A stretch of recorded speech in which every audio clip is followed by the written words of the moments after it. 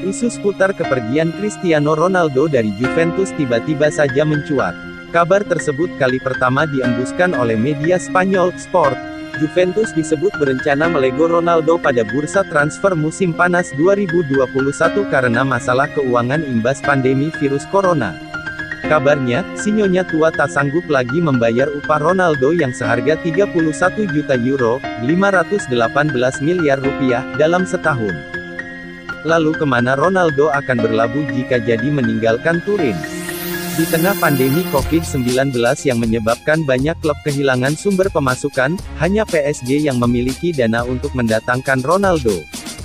Menurut Wagner Ribeiro, agen yang memuluskan transfer Neymar ke PSG pada 2017, raksasa Prancis bisa membeli pemain mana pun dengan sokongan uang dari perusahaan tajir Qatar. Saya serius soal itu. Anda tak boleh meragukan kemampuan ekonomi Qatar, ujar Ribeiro.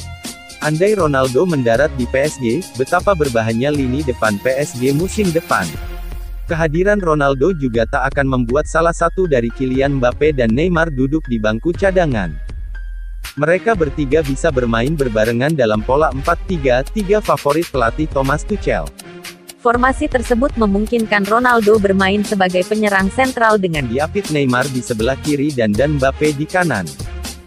Jangan lupa bahwa PSG masih punya bintang seperti Angel Di Maria dan Mauro Icardi. Menggunakan formasi serupa, Ronaldo pun bisa dikombinasikan dengan dua pemain di atas. Ronaldo dapat menempati pos kesukaannya sebagai penyerang sayap kiri, Icardi di tengah, sedangkan Di Maria membombardir dari kanan.